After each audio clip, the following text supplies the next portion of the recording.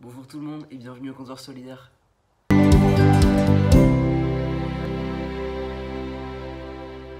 Moi c'est Cosmic et aujourd'hui je te présente une vidéo en partenariat avec Optoys.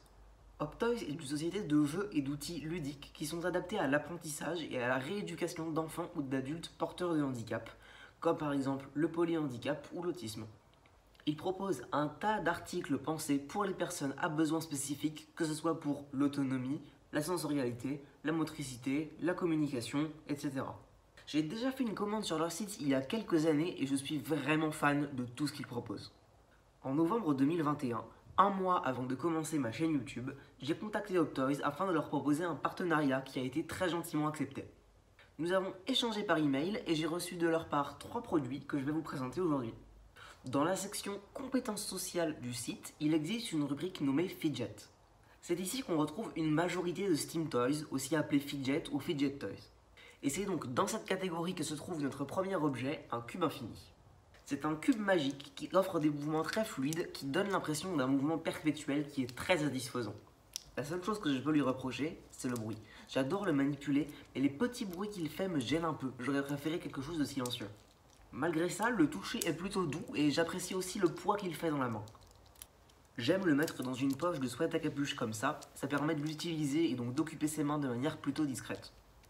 Il est noté à 4,8 sur 5 et est vendu au prix de 6,90€. Je vous mets bien sûr le lien dans la description. Si tu es intéressé par une vidéo dédiée entièrement à l'explication de ce que c'est de steamer ainsi qu'une présentation de tous mes Steam Toys, dis-le moi en commentaire. En deuxième, les articles de la catégorie autonomie, fourniture scolaire ergonomique. Ce sont des petits manchons pour crayons en forme de stégosaure. J'ai choisi cet article car avec mes douleurs chroniques, écrire devient vite douloureux pour moi. Ces petits objets facilitent la prise en main, c'est vraiment bien pensé. En plus, forcément, des dinosaures, bah j'ai craqué.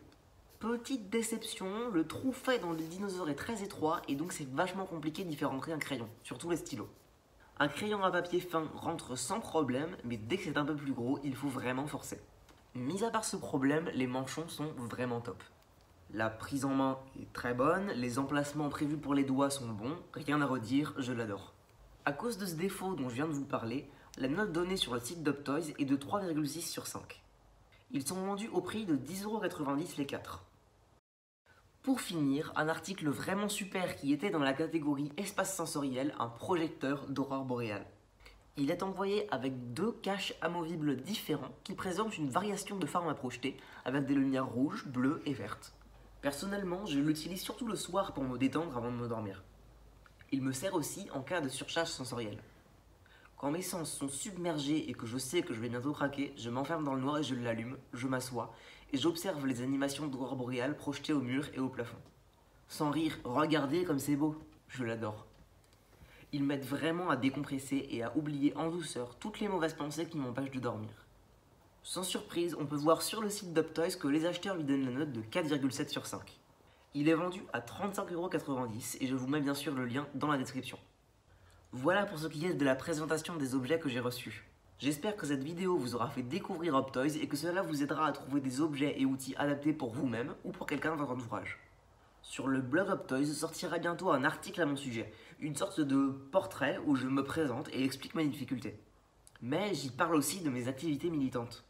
Si tu veux en apprendre plus sur moi, je t'invite à me suivre sur les réseaux sociaux où je posterai un lien vers cet article dès sa sortie. Comme je vous invitais à le faire précédemment, tu peux me dire en commentaire si une vidéo sur le Steam peut t'intéresser.